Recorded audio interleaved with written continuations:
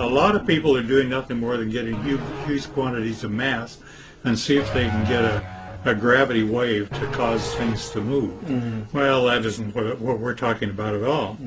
So I uh, wondered if gravity could be uh, related to its cousin magnetism. And so I uh, I found that when I take two magnets together, I have some neodymiums around here that I'm actually afraid of. They They're so they, can, strong. they can they can danger you. But anyhow, you take a magnet, you go to put them together and go, and they go clunk, right?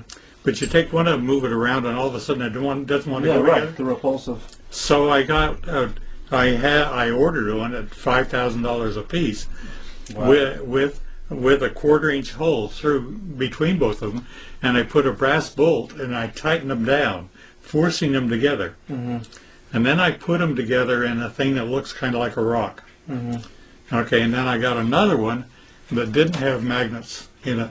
Mm-hmm. And uh, Galileo, in in all his endeavors, he went up to the Leaning Tower of Pisa, And dropped the. and he dropped a big rock and a small rock. Mm-hmm. And his buddy down at the bottom kept telling him that the large rock, rock and the small rock arrived at the same time.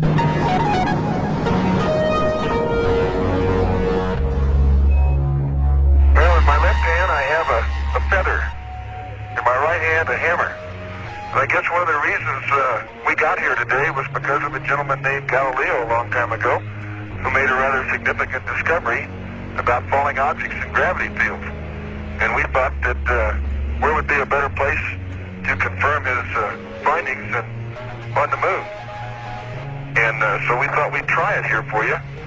Uh, the feather happens to be appropriately a falcon feather for our Falcon, and I'll uh, drop the two of them here, and hopefully they'll hit the ground at the same time. How about that? That proves that Mr. Galileo was correct in his findings. Well, I went up to in, in the Lockheed Building 501 by the side of escalators and, and elevators. Oh wow.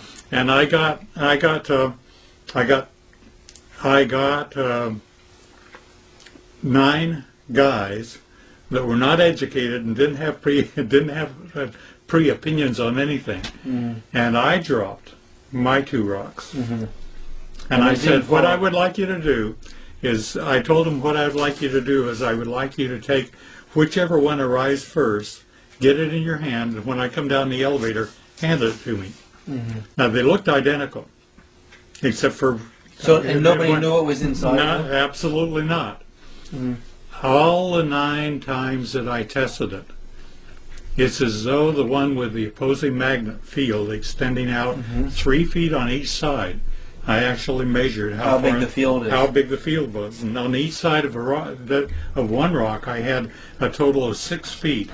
At any rate, the other the other rock arrived first. Which one arrived first? The one, the one that had no magnetic field in it. So you were able to cancel out gravity to a certain degree. You How were able like to that? cancel, Precisely. reduce the mass gravity effect Precisely. by Okay. by opposing fields. Isn't that nice? You you bet. And got nine signatures and wit. I always get you know. You I- did that at Lockheed. What, what year was this? Oh, uh, at least eight years ago. This is um, the actual document of Boyd's where he proved that by altering the the field mm-hmm. in a falling body, the magnetic field, it reduced its mass gravity equivalent and canceled out the uh, effects of gravity to a certain percentage. Mm-hmm. And he did a 500, a building 500 drop test conducted from a height of 59 feet. Hmm. The location is in White Settlement, Texas, and the time was 12:20 p.m. And this was in 1995, December 12th. Nobody knows this. I know it. So This- gravity, mass gravity, is not. Um, Well, it, it- you can alter it. in other Well, words. gravity, uh, gravity within itself has to have. Gravity goes through anything that is solid and anything like iron or anything Yeah. else.